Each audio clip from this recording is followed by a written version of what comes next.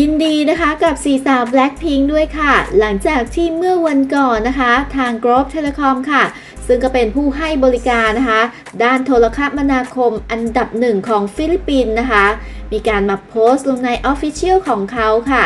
โดยเหมือนจะบอกเป็นนัย ๆ นะคะว่า Blink ค่ะ เตรียมเซอร์ไพรส์ได้เลยนะคะ จะมีอะไรนะมาเซอร์ไพรส์ให้กับเรานะคะ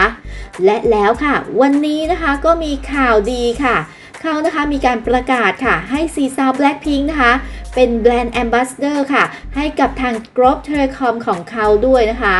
ก็ต้องบอกค่ะว่าพวกเธอเริ่ดมากๆเลยนะคะนี่ ถ้าเกี่ยวกับด้านนี้เนี่ยก่อนหน้านี้นะคะลิซ่าค่ะ เธอก็นะคะอยู่กับ AIS ของไทยนะคะ ส่วนเจนนี่เนี่ยก็ของ KT เกาหลีนะ ซึ่งก็เป็นแบรนด์นะคะอันดับหนึ่งเบอร์ต้นของเขาเลยเหมือนกันนะคะ เรียกว่านะคะคราวนี้ค่ะ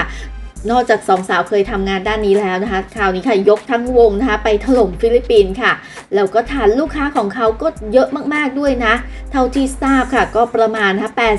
89.3 ล้านเลขหมายกันเลยทีเดียวนะคะเรียกว่าเยอะจริง ๆ ค่ะ ถ้า Blackpink นะคะไม่ปังจริง ไม่ชอบจริง ๆ เนี่ยเขาคงไม่เลือกให้ไปเป็นแบรนด์แอมบ s สเดอร์ของเขาอย่างแน่นอนค่ะก็ขอแสดงความยินดีนะคะ ให้กับพวกเธอด้วยนะคะ เรียกว่าปังมาก ๆ ค่ะ รับทรัพย์อีกแล้วนะคะ ส่วนเรื่องเครือข่ายจะชนกันหรือเปล่าไม่ต้องห่วงนะคะ YG เนี่ยเขาดิวเก่งมากๆนะคะ ฉลาดมากๆด้วยนะคะ แล้วก็งานนี้ค่ะ รับทรัพย์เข้ากระเป๋านะคะสาวๆแบ็คพิงอย่างแน่นอนค่ะแต่แอดก็มาอัปเดตข่าวสารกันนะคะ ถ้าเดี๋ยวเขามีอะไรเพิ่มเติมนะเคลื่อนไหวทางฟิลิปปินส์แล้วแอดจะเอามาแจ้งให้ทราบอีกทีนะคะก็ก่อนจบคลิปนะคะ ก็อีกเช่นเคยค่ะ อย่าลืมค่ะ กดไลค์ กดแชร์นะคะ แล้วมาเจอกันใหม่ค่ะ ในคลิปหน้า